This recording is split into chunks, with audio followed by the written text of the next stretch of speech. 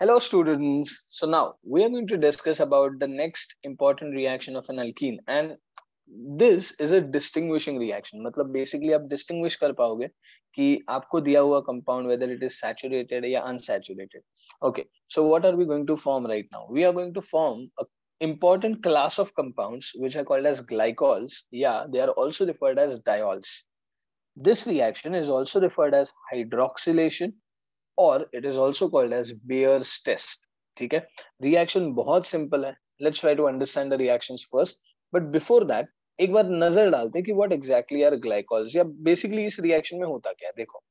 So whenever an alkene is reacted with cold, dilute, alkaline, potassium permanganate solution, तीन चीज़ें ध्यान देना। एक तो है कोल्ड फिर वो डाइल्यूट होना चाहिए एंड अल्कलाइन मीडियम में potassium permanganate then you get the formation of vicinal glycols or vicinal diols. And this reaction is going to be referred as Bayer's test. अच्छा विसिनल ग्लाइकोल्स मतलब क्या होता है वन टू डायोल्स मतलब basically दो adjacent carbon के ऊपर ओ OH आ जाएँगे. एक बार चेक करते हैं, देखते हैं कैसे होता है ये. लेट्स सपोज़ आपके पास एक अल्कीन है C H two double bond C H two and you are treating it with again alkaline cold and dilute K M N O four अच्छा अब डाइल्यूट है मतलब पानी आपने ऐड किया है। And K Mn four is a very good oxidizing agent तो वो आपको क्या देगा? देखो, पानी हम लोग ने ऑलरेडी ऐड किया हुआ है, वो आपको देगा एक ऑक्सीजन कौन? K four why because is a very good oxidizing agent so उसने ऑक्सीजन दे दिया। ना जस्ट चेक माई बच्चे water I can write it as H O H होगा क्या?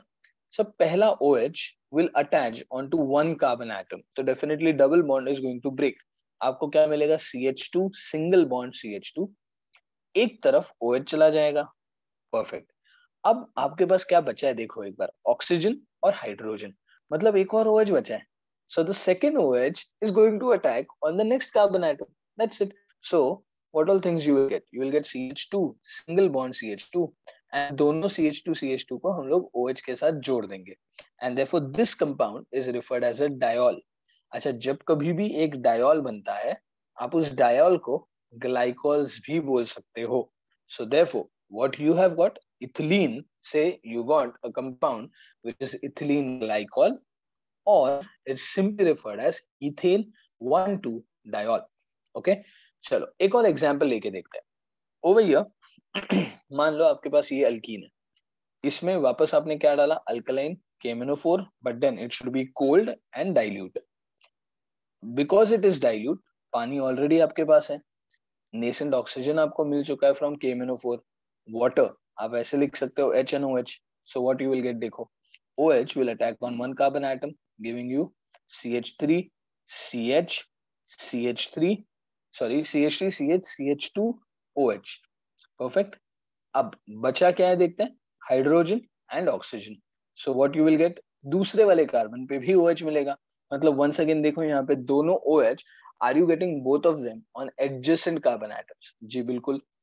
Whenever you are getting two O H s on two different carbon atoms which are adjacent to each other these diols are referred as vicinal diols और they can be also referred as glycols let's see the name इसका नाम क्या आएगा? Propylene it's converted to propylene glycol और propane one two diol अच्छा अब ना why this is use as a distinguishing test यार, पता कैसे चलेगा कि अल्कीन है अल्काइन है अल्केन है? How will you come to know देखो over here just check whenever you are reacting KMNO4 KMNO4 का सोल्यूशन कलर जो होता है, या सोल्यूशन का जो कलर होता है, वो होता है पर्पल पिंक तो जैसे जैसे KMNO4 is being utilized in the reaction KMNO4 का जो पर्पल कलर है it slowly starts to disappear and अगर आपके पास एक कंपाउंड है उसमें आपने केमिनोफोर डाला कलर डिसअपियर हो गया तो आप डेफिनेटली क्या बोल सकते हो कि अरे ये कंपाउंड जो मेरे पास था